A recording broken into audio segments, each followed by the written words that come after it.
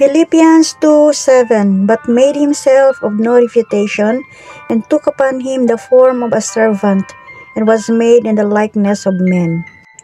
Jesus wasn't afraid to be seen with different kinds of people regardless of their social standing. The Pharisees called Jesus all kinds of names because of the people he was found visiting. But Jesus didn't care. Classism and any other form of prejudice are not welcome in the life of a beginner.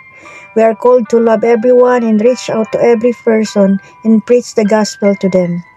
How can we exemplify the love of God if we choose to be prejudiced towards a certain group of people?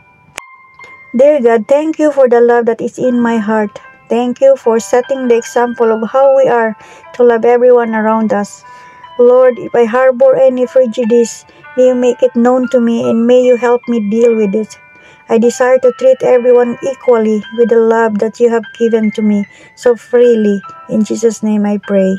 Amen. Have a blessed day everyone. God bless us all. Please don't forget to follow, like, and share my video. Thank you. Happy Sabbath.